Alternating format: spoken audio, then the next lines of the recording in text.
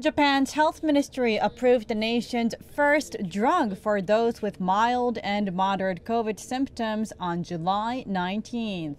The antibody cocktail therapy, which was used to treat former U.S. President Donald Trump when he got the COVID, was developed by U.S. biotechnology company Regeneron. Chugai Pharmaceutical will be in charge of developing and distributing the medicine in Japan. The risk of hospitalization or death was reduced by around 70% in its clinical trial.